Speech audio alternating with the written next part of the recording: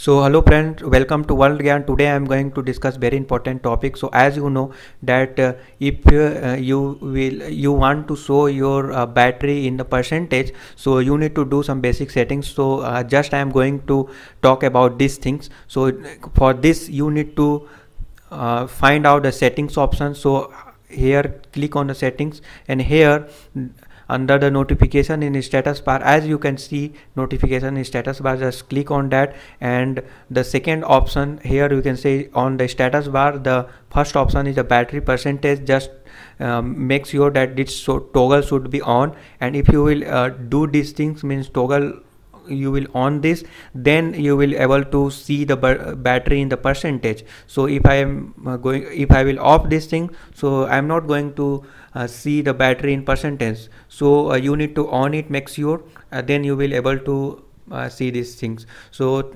uh, thank you thank you for watching. In case of any doubt you can ask through comment